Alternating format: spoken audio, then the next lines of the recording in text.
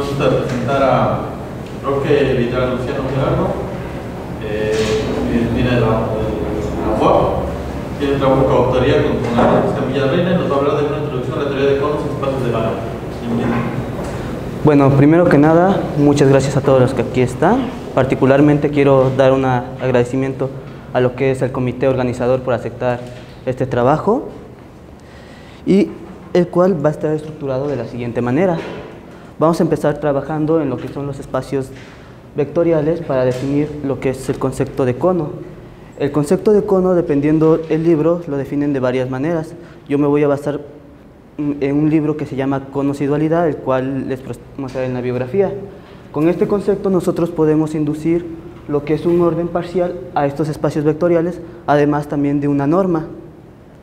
Una de las preguntas frecuentes es cuando este espacio vectorial dotado de este orden y esta norma son un espacio de Banach ordenado. Y más aún, si este espacio vectorial ya poseía una norma, cuando ¿Cómo funcionan respecto a estas normas?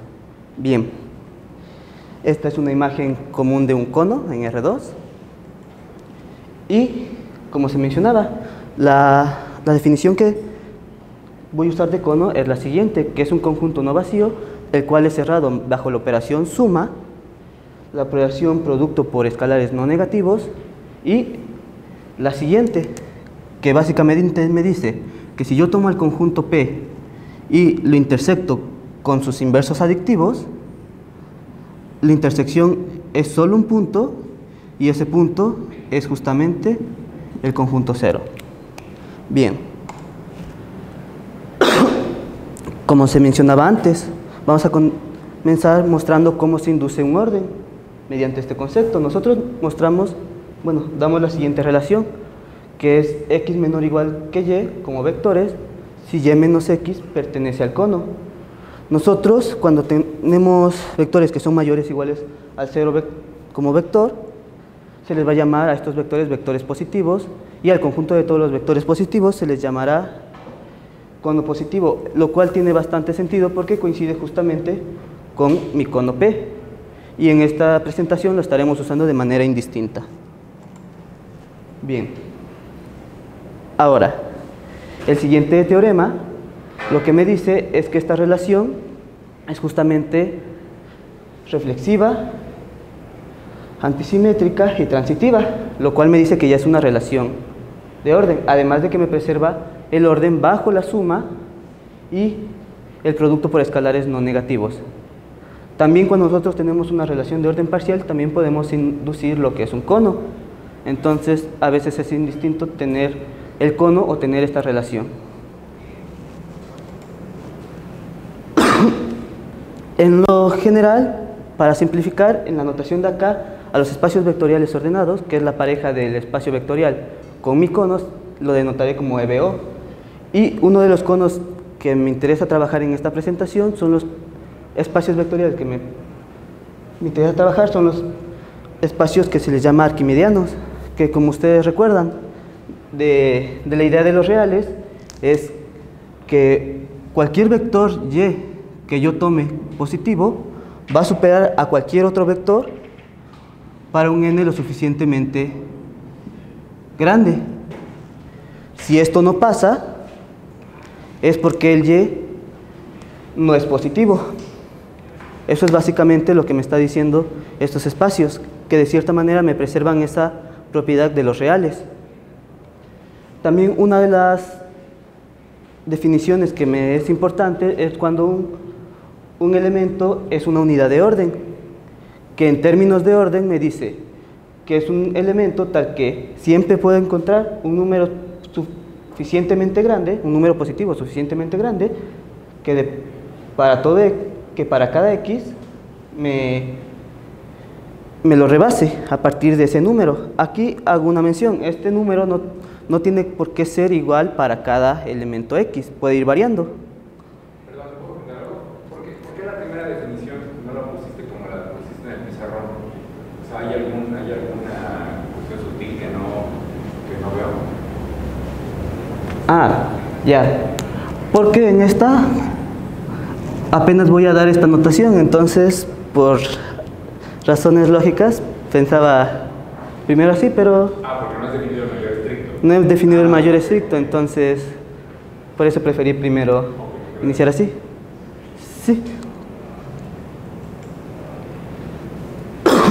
Como se acostumbra, pues ya dimos una definición, pues vamos a ver que si hay conjuntos, de los más sencillos que podemos encontrar es el propio R, visto como espacio vectorial, con el cono de cero infinito. Aquí una de las cosas interesantes que tenemos es que justamente todos los números que son positivos son unidades de orden.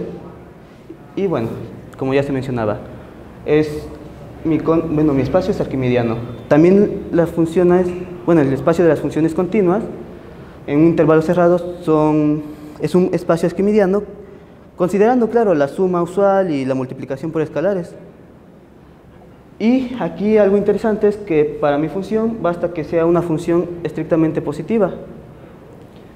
Entonces, ya con eso nosotros tenemos que eso es suficiente para decir que eso es una unidad de orden. Otro de, las, de los ejemplos clásicos también sería cuál es un cono, cuan- cuál es el cono cuando estamos trabajando con un subespacio, o cuál es el más usual que trabajamos, salvo que se diga lo contrario, es el que se genera de la intersección del cono original con el subespacio, y a este cono se le llama el cono de W generado por el cono P. Y para que no se vayan con la finta de que toda, todo espacio debe tener unidades de orden, este último ejemplo me muestra un espacio vectorial donde no puede tener unidades de orden. Bien, ¿Por qué no tiene unidades de orden? Mm, en esta parte, porque justamente como no está acotado, si nosotros tomamos uno fijo, siempre podemos ir construyendo, tomamos un- una sucesión que decimos es nuestra unidad de orden. Entonces nosotros podemos tomar justamente esta sucesión. Esta sucesión también pertenece. Si, si esto pasara, entonces esto siempre tendría que ocurrir. Lo cual en, en consecuencia me llevaría a una contradicción. Sí. Como se mencionaba, esta estructura de orden que se le da no se quiere que sea ajena a la estructura que ya contiene mi espacio vectorial. Y se le puede dar justamente, por ejemplo, para lo que es la unidad de orden, una equivalencia en referencia solamente a esta estructura, que me dice que si yo tomo cualquier dirección en mi espacio, siempre hay un segmento que queda completamente contenido en el cono que sale de mi unidad. Este segmento no tiene por qué, como ya se mencionaba, no tiene por qué ser el mismo o de la misma longitud para todos los elementos. Va variando según el elemento que tomemos. Bien. Un poco de notación, que es como la usual. Si un, si un elemento x1 es menor o igual que x2, se dice que es menor estricto si son diferentes. Y el conjunto de intervalo, el intervalo cerrado es, el, es análogo a como lo definimos en los reales justamente. No hay mayor sorpresa. También lo que es el intervalo abierto. Un subespacio en particular que me interesa trabajar también en esta plática es el siguiente, lo que se le conoce como el ideal generado por un vector positivo x, el cual está definido de la siguiente manera, pero tiene equivalencia a, esta- a estos conjuntos, los cuales me hacen un poco más claro la relación, las relaciones siguientes. Bueno, como ya mencionaba, este es un espacio vectorial. Pero en este espacio vectorial, el X, por cómo está construido, va a ser una unidad de orden para este espacio. Y también voy a obtener que si mi X en principio ya era una unidad de orden de mi espacio original, estos dos espacios tienen que coincidir. Vamos a probar algunas cosas adelante que pasan para B de X. Antes nos centraremos un poquito en qué pasa cuando mi espacio también tiene ya una norma. Cuando tiene una norma, uno de los conos más utilizados, porque puedes sacar, puedes extraer bastante de ellos, son los siguientes, lo que se conoce como el cono normal, que es el siguiente, que me cumple cierta monotonía en cuanto a su norma, y lo que es el cono sólido, que no es un cono más que un cono que tiene interior distinto del vacío. Claro, tomando la, como un punto interior, lo que es, ¿cómo se llama? La topología que me induce la norma, para que podamos hablar de puntos interiores y todo eso. ¿Vale? Bien. Uno de los resultados importantes para lo que son los conos sólidos es el siguiente, que si yo tengo un cono sólido, yo puedo decir siempre que buscar una unidad de orden es lo mismo que buscar un punto interior. Desde el ejemplo anterior ya vimos que no necesariamente existen las unidades de orden. Aquí, algo que me garantiza es que si existen los puntos interiores, ya existen también las unidades de orden y viceversa. Ahora, cuando el cono es sólido, ahora una de las observaciones, que tal vez no sea tan fructífera para esta presentación, es que algo que ocurre también en los interiores de un cono es que nosotros siempre podemos encontrar números o lo suficientemente pequeños o lo suficientemente grandes y lo suficientemente grandes para que se cumpla esta desigualdad. Bien, retomando un poco el lema anterior, como les mencionaba, nosotros también en el ejemplo ya vimos que este es un, un espacio arquimediano donde la función constante 1 es una unidad de orden, pero dependiendo de la norma, nosotros podemos ver que con esta norma mi cono es sólido y con esta norma no lo es. La forma para utilizarlo es, cuando yo agarré esta unidad de orden, yo pude probar que era un punto interior para P con esta norma. Y cuando yo tomo esta misma unidad de orden, yo logré ver que no podía ser un punto interior porque siempre puedo encajar este tipo de funciones ahí, en cada bolita que yo haga. Perdón, ¿sólido, ¿sólido quiere decir que sí tiene interior? Sí, sí tiene interior. Sí, yo digo que, este no es sólido porque ah, está atrás, disculpe, toqué el incorrecto. Yo ya tengo una unidad de orden. En el segundo ejemplo, si esta si el cono fuera sólido, entonces esta unidad de orden tendría que ser punto interior. Como en el segundo ejemplo, con esa norma vi que no era punto interior, entonces una de las hipótesis falla, que es la de que sea unidad de orden. Sí, y las funciones que se usan para esa, bueno, esta es una familia, pueden usarse otras, pero son las más sencillas que se me hicieron.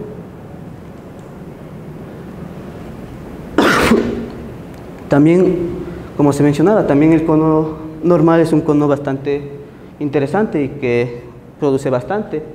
Ahora, en los, porque una de las razones es porque en los espacios normados, que ya ordenados, que son espacios vectoriales ordenados con una norma, cuando nosotros tenemos tres sucesiones, es equivalente a decir que mi cono es normal a que se cumple el teorema del emparedado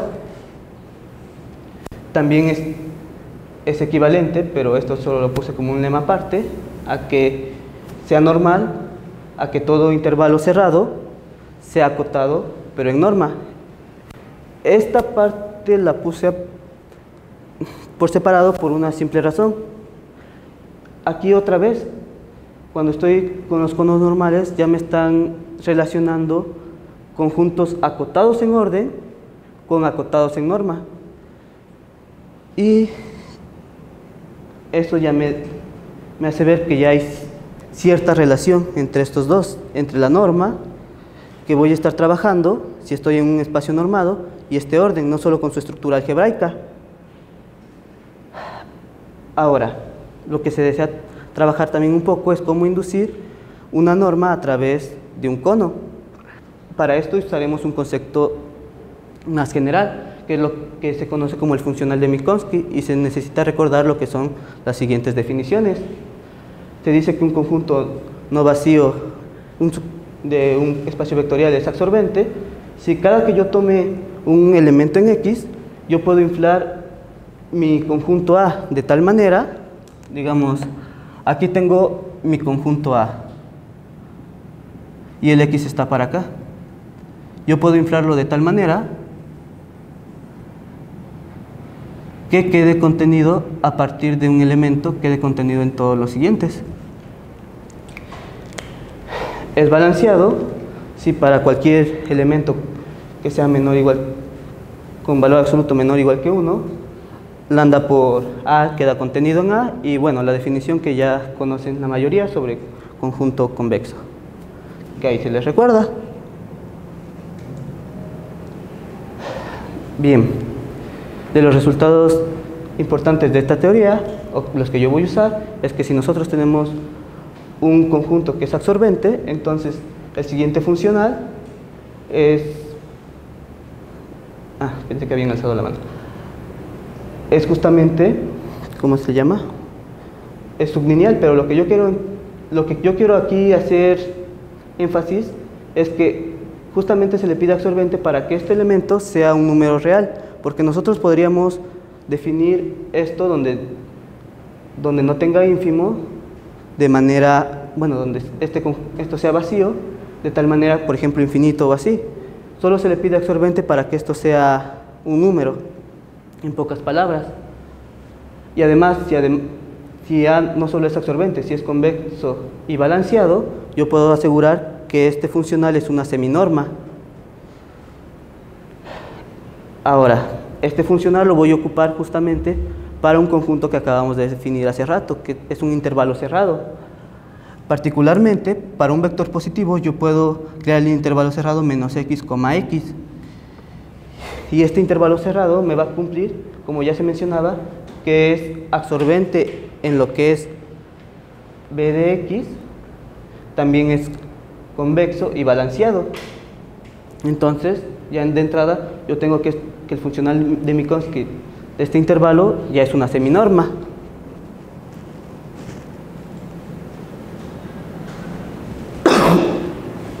Bueno, esta seminorma me cumple que para el cono inducido, este cono va a ser un cono normal, con una constante normal igual a 1. Entonces, lo que yo pruebe adelante o lo que se pruebe en adelante para los conos normales valdrían en el espacio B de X para esta seminorma. Más aún, si mi espacio era arquimediano ya, yo voy a obtener que no solo es una seminorma, sino que ya es una norma, que también mi cono con esta norma es cerrado y que cualquier bola, bueno, que la bola que yo estoy tomando acá, la bola unitaria con centro en cero y radio 1, es justamente mi intervalo cerrado menos xx.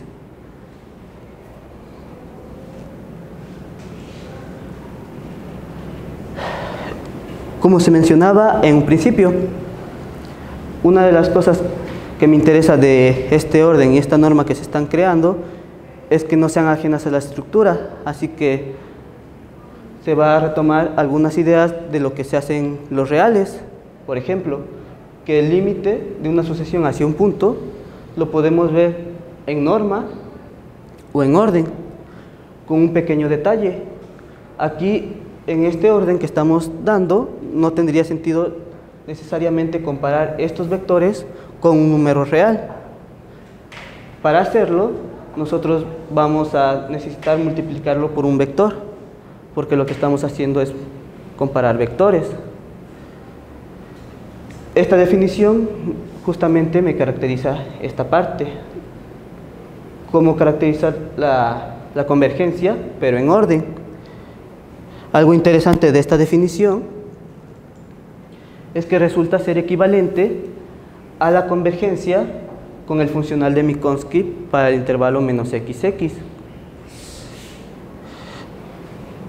Ya teniendo eso, nosotros también podemos hablar de cuando estamos trabajando con sucesiones de Cauchy, que esta sería su versión para orden, y cuando también es un cuando es un espacio, bueno, cuando es una asociación uniforme, cuando converge, pero en el espacio B de X, porque lo estamos haciendo esto que dependa del X. Bien, la única diferencia al caso real es que en este sentido, esta definición me dice que es uniformemente completo si para cualquier vector estrictamente positivo que yo tome, esto va a ser, bueno, las asociaciones van a ser uniformemente, es uniformemente completo. Las asociaciones de Cauchy van a, a converger en este espacio. Disculpe. Bien, una de las caracterizaciones que salen rápido de esta misma definición es que este espacio es un espacio de Vanna, justamente si esto es completo, es más, no es más que la definición en sí misma, solo quería remarcarlo. Y la parte importante, que justamente cuando nosotros elegimos a X como una unidad de orden, nosotros ya le habremos dado lo que es una estructura de una estructura de orden y de norma a mi espacio original si es que no la tenía.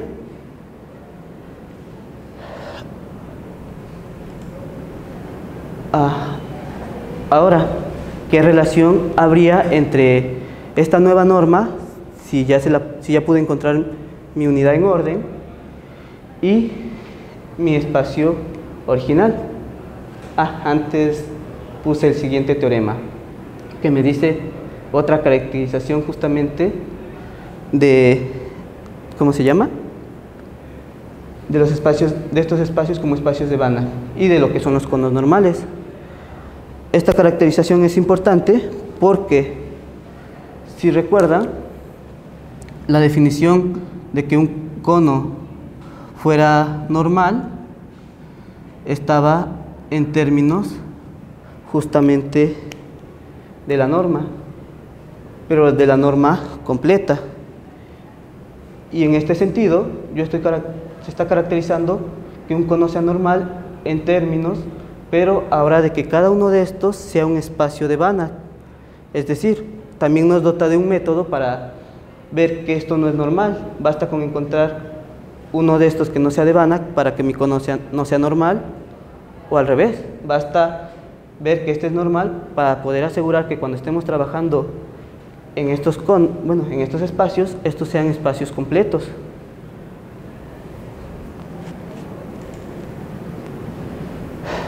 Bien, para simplificar notación, meteremos una definición. Un espacio de vana ordenado con un cono que sea cerrado y además ya contenga unidades de orden, a este, a este tipo de espacios se les llama espacios de Klein.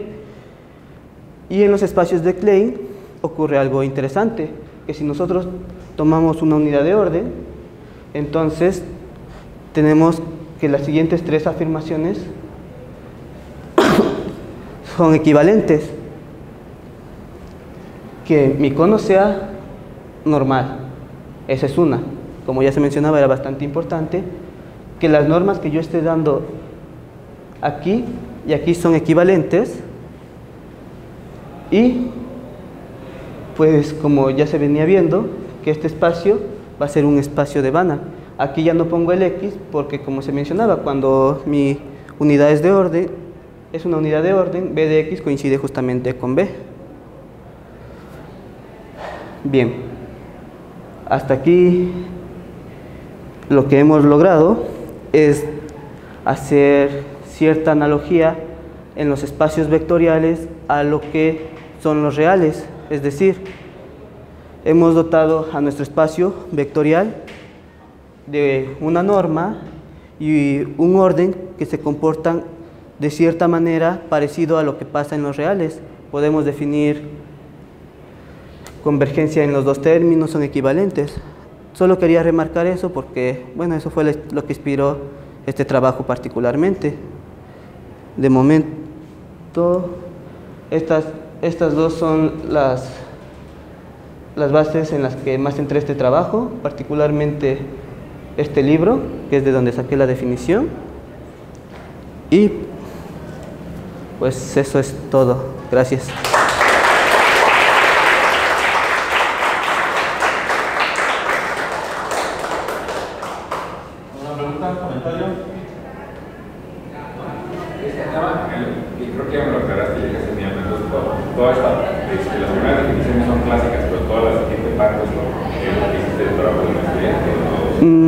No, en mi trabajo de maestría es sobre punto fijo, solo... Ya, estas definiciones, no, estos resultados no son tuyos. No, no son míos. Todavía todo esto es de la, de la teoría clásica, solo que le cambié un poco la perspectiva. Los resultados ya están, solo intenté darle alguna interpretación geométrica, cositas así. Fue lo único que podría decirse que sería original.